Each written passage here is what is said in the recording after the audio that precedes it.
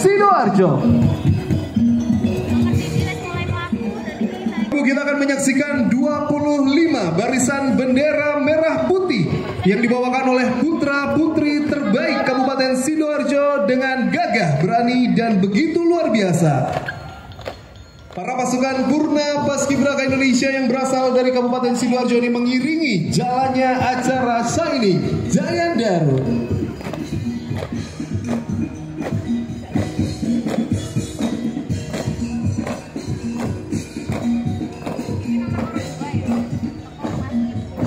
Bapak Ibu hadirin yang berbahagia sekali lagi boleh berikan tepuk tangan untuk pasukan Paskibraka Bakas Bangpol Sidoarjo.